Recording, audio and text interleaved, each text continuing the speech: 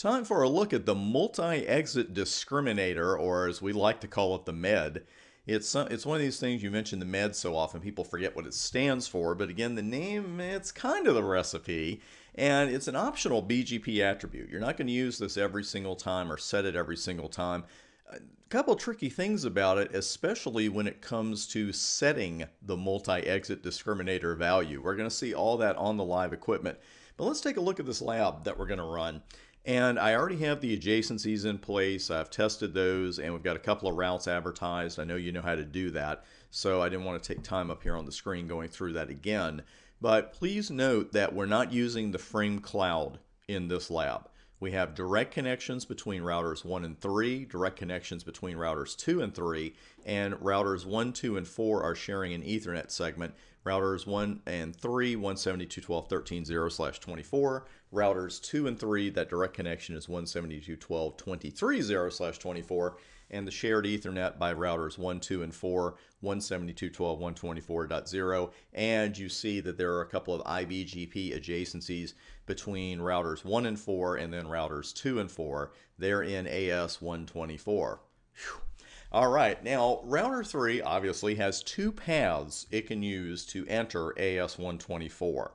And there may be times where you want one path in particular to be used for all the routes or all the traffic, the BGP traffic. And the thing is, of course, that BGP best path selection, it may not give us the path selection we want. We need to be able to fine tune that. You also may have times, as we're going to do in this lab, where you want traffic for one network to go over one path and traffic for the other network to go over another path. So to practice that, of course, we got to have a couple of networks. So on top of the adjacencies that I've already created for us, I've created two networks. We're using router 4's loopbacks 4444 and 44444, and I've already advertised those into BGP. We've seen all of that in previous labs, so I didn't want to take another 10 minutes getting all that set up here. Now let's go ahead and verify that I know what I'm doing. Router 3, we've got show IP BGP, and you can see we have two entries for each one of the networks as we expect. Uh, one of the next hops is going to be 13.1, the other is going to be 23.2, and that of course is true for both paths. Now notice that all the paths are valid, and the paths that have been selected as best, both, excuse me, both routes are going to use the 13.1 path, the path through router 1. And why is that? We got that list down now. We do have the list down now, right? That best path selection. Well, first off, we see there's no accessibility issue, so we love that. We see valid, we see external, we see the same local pref, that's the default value for local pref 100. We don't see anything mentioned here about a med. And again, that's because it's optional and we haven't created it yet, so there's no metric to tell us about. And it turns out that the deciding factor ended up being the BGP RID of the routers. And ones was considered superior to two. It was lower. So you can see best, you see 172.12.124.2 and 172.12.124.1. Well, that might work for us. Maybe that's the path we want it to take. Uh, but then again, maybe it's not. And maybe both of these paths are going to be so heavily used that we want to split the traffic up a little bit. So that's what we're going to do here. We're going to add a little degree of difficulty to it. We've already seen this material. Here's what we're going to do. Here's what we want to do. We're going to balance the load a little bit. We want router 3 to continue to use 172.12.13.1 as the next hop for traffic headed for 4444.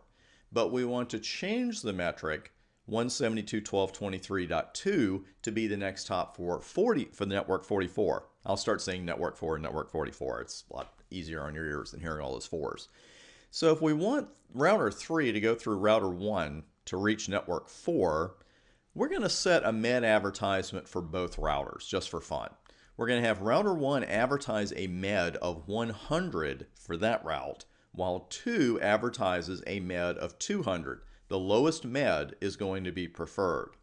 Now we're going to do the reverse or the inverse for the other path, and what we're going to do there is have router 2 advertise a med of 100 for network 44 while having router 1 advertise a med of 200 for that same network. That sounds like a lot of typing. It really isn't, but let's go ahead and bring the live equipment up. And we're going to start over on router 1. And the first thing we're going to do, you probably saw a little hint of it on the bottom of the screen, we're going to start with some access lists because we have to identify the networks that our route maps are going to refer to. So we'll just make it even more intuitive than usual and make that a permit 4444. And then I'll write an access list 44 for the other one. So far, so good. Now I'm going to write a route map. And if this is your first time seeing route maps, the logic is very simple. You've probably seen them before. But call it something intuitive. You know, don't call it Fred or Sam unless you really want to. Let's go ahead and call it set med.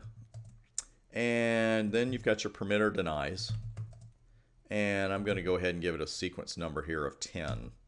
And I want any route that matches access list 4. And that's where I need to go with IP address.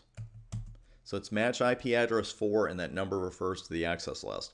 And any or the route that matches that, I want to set a med of 100. Now, there's only one problem here. Being a master of the alphabet, I can see that there's a metric and a metric type, but I don't see anything here about a multi-exit discriminator or a med.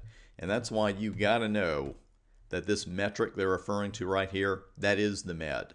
It's not a great metric value for destination routing protocol. That's a pretty generic description, but we're going to go with that, and we're going to set it to 100.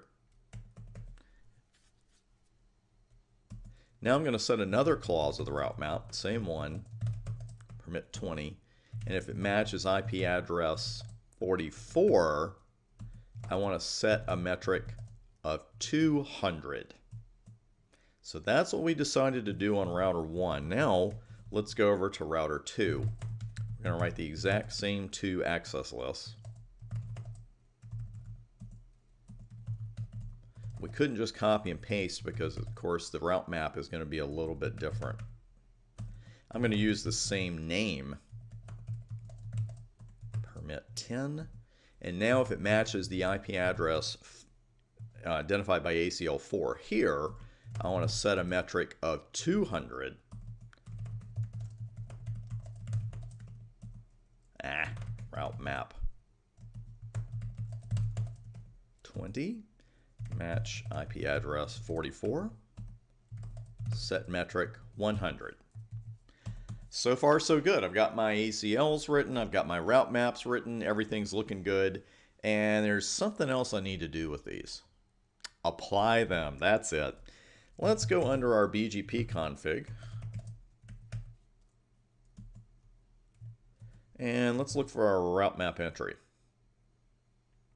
And it would seem again, we don't exactly have a route map entry here.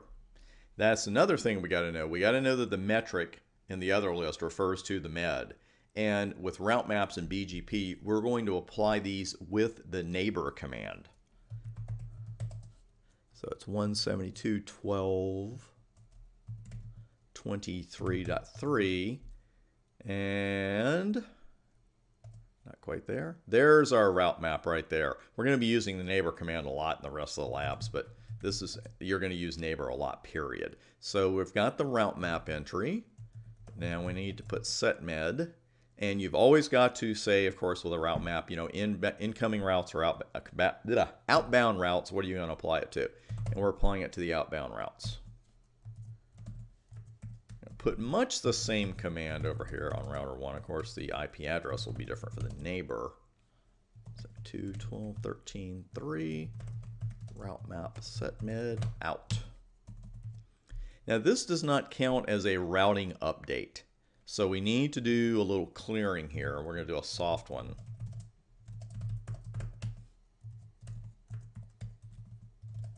Oops. Clear IPBGP I knew that asterisk was up there somewhere. Out. So let's go over to router 3 after all this and see what we see. And you can see that one of the choices has changed. And also note now that we actually have values under metric. And we don't have any values under LocPerf for local pref. We know that's a default of 100. That's just an oddity of the show IPBGP command. But with the metric where we didn't have anything before, now we do. And note that the metric on router 3, it's seeing a med of 100 for network 4 with a next hop of 13.1, and it's seeing a med of 100 for network 44 with a next hop 23.2. So now we're doing a little bit of balancing. We've got we've got a much better situation going on than just sending it all over one link. But you can see again, and let me run uh, the detail command there for you. You can see how the med really comes in handy. Because what if we had 50 routes? You know, maybe we want to take 25 of them, run them one way, 25 run them the other way instead of running them all over the same path. Whoops, 4444 is what I meant to say. And you can see there's the metric now. We didn't have that before, and that is your med. So a lot going on here with the med. The first time or two you set it, you know, a little extra planning, got to write your ACLs, got to write your route map, then apply it, then do a soft reset. But you can see this is a fantastic attribute to use when you've got a couple of paths you want to use, but by default, of course, only one of them would end up being used. Coming up next, I think it's time we took a look at that LocPerf, that local preference, and see what's going on with that. That's coming up next.